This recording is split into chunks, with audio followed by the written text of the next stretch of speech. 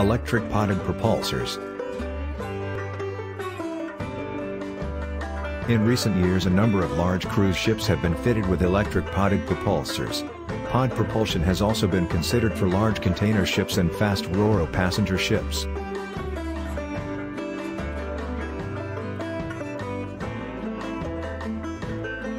The advantages of electric podded propulsors are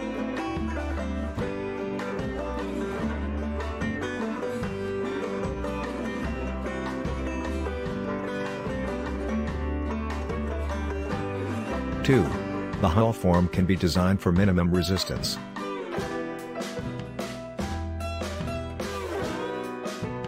Three, the thrusters provide good propeller clearances and can be aligned with the local water flow to provide a clean flow of water to the pulling propeller.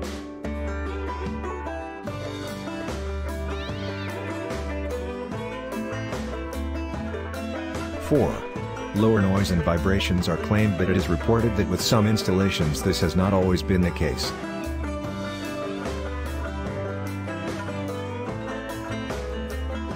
Five.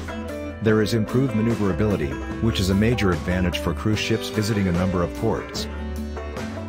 Various podded propulsor arrangements are installed. A smaller vessel may have a single unit providing both propulsion and steering.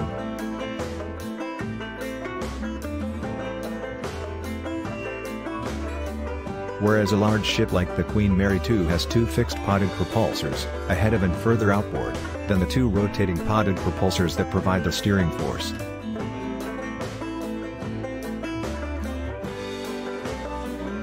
Each of these podded propulsors has a 6-meter diameter four-bladed propeller.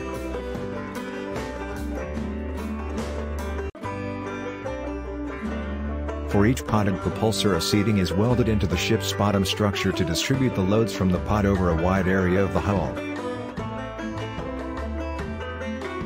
The fixed propulsors are bolted directly to their seating whilst the steering units are carried by a slewing ring in their seatings.